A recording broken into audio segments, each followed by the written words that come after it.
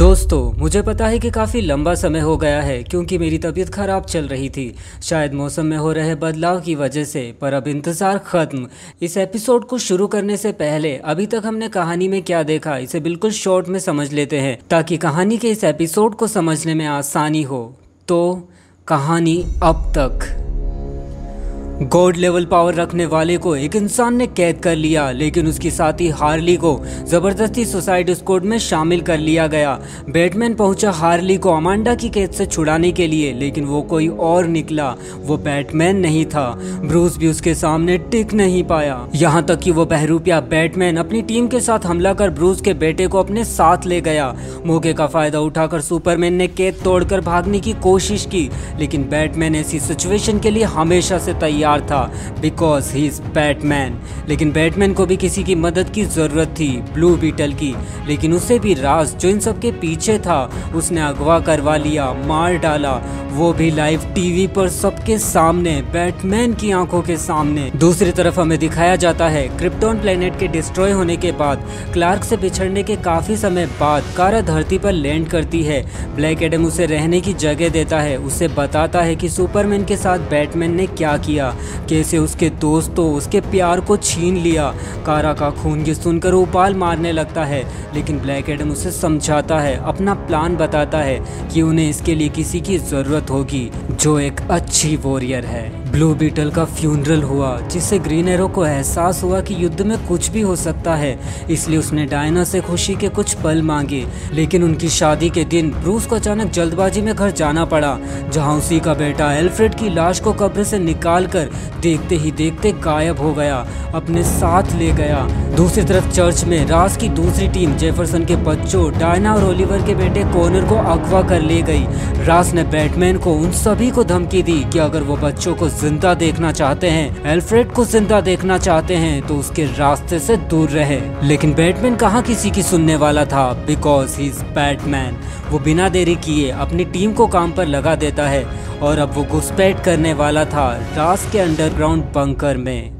अब आगे।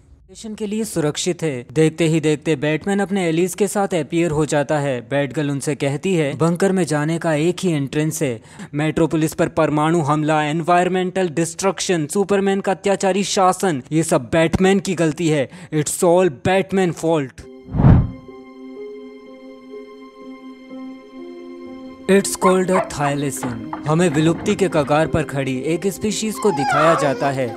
थाइलेसिन टाइगर जो जीवित बचे आखिरी दो थे, तभी son of Batman Damian Alfred के साथ वहाँ आता है। वो एनिमल मैन से जानना चाहता था कि वो रास का साथ क्यों दे रहा है। मुझे नहीं लगता कि तुम मेरे ग्रैंडपा के रास्ते पर चलोगे। हाँ इसीलिए मैं बहुत चौकन्ना था जब रास मेरे पास आया था। लेकिन फिर मैंने इस सेंचुरी में वो सब कुछ देखा जिसे रास ने विलुप्त होने से बचाया।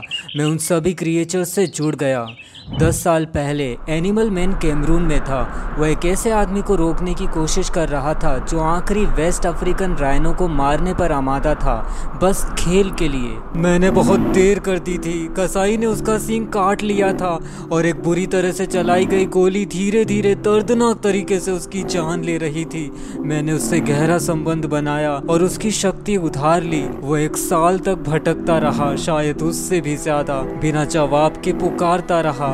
मैं उसके साथ बैठा था जब वो चला गया। वो विशाल काय था, लेकिन वो बहुत छोटा महसूस कर रहा था। इसलिए नहीं कि वो मर रहा था और डर रहा था, बल्कि इसलिए कि वो आखिरी था और वो दुनिया में बिल्कुल अकेला था। मैं इन क्रिएचर्स से जुड़ गया हूँ टैमैन मैंने इनके डर को महसूस किया है। मैंने इनके गायब होने पर इनके अकेलेपन को महसूस किया है। हमने पिछले 40 सालों में दुनिया की आधी वाइल्ड लाइफ को खो दिया है। मैं किसी को चोट नहीं पहुँचाना चाहता, लेकिन इंसानियत को रोकने की ज़रूरत है। तो डेमन कहता है, हमने उन सभी वर्कर्स को मार डाला, हमने बच्चों का अपहरण किया। तुम्हारे पिता को रोकने के लिए बैटमैन और उसके साथियों को रोकने के लिए।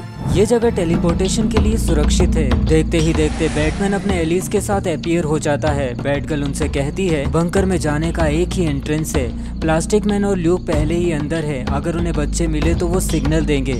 हमें चुपचाप अंदर जाना है। ब्लू बीटल हमें तुम्हारी ज़रूरत बाहर होगी। लेकिन ब्लू बीटल ये सुनकर कि उसे एंट्रेंस की चौकेदारी करनी सुनी होगी। बैटगल पर भड़कने लगता है। क्या? तुम मुझे इतनी दूर तक लाई और अब तुम सबसे पहली बात इस मिशन की लीडर होने के नाते मुझे नहीं लगता कि तुम्हें यहाँ लाना चाहिए था। बहुत कुछ दाव पर लगा है। तुम अनुभवहीन हो और मैं तुम्हें नहीं जानती। दूसरी बात, तुम्हें एक ऑर्डर दिया गया था। मुझे परवाह नहीं कि तुम्हें लगा कि ये तुम्हारे टैलेंट की बर्बादी है, या तुम खुद को अलग थलग महसूस करते हो। मुझे तुम्हारी भावनाओं की बिल्कुल भी परवाह नहीं है जय में जहाँ तक हम जानते हैं, ये एंट्रेंस ही हमारा एकमात्र एग्जिट है। अगर हम इस एग्जिट को गवा देंगे तो हम मॉन्स्टर सुपर विलेंस और एसेसियंस लीग के साथ अंदर फंस जाएँगे। क्या तुम्हें अपने ऑर्डर पर कोई ऑब्जेक्शन है? बैटगल की जली कटी बातें सुनकर, फ़िलहाल के लिए जय में चौकीदारी को तैयार हो जाता है। उसे एक लोते एंट्रेंस की।